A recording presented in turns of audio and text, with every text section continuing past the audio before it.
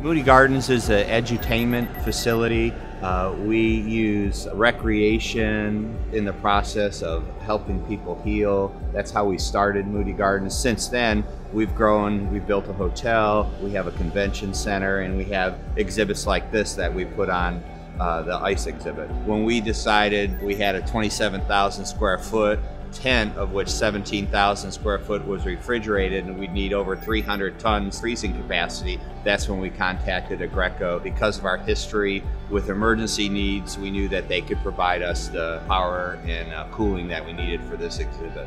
Whether it's a technical person on the phone at 4 a.m. in the morning, or if it's a person that we need to come down uh, during the day, they're always responsive to any adjustments we need to make within the exhibit and very fulfilling of all of our needs. When we started carving the exhibit uh, back in uh, September with the carvers, typically it's held a little bit warmer because if it's too cold, the ice blocks would crack when they're carving. So they were always here to adjust temperatures as we needed. There have been emergency situations. Uh, we have a list of numbers to call. Uh, the team is very responsive. It's 24-7. This exhibit has to be kept cooler. There could ruin my exhibit. It would melt away.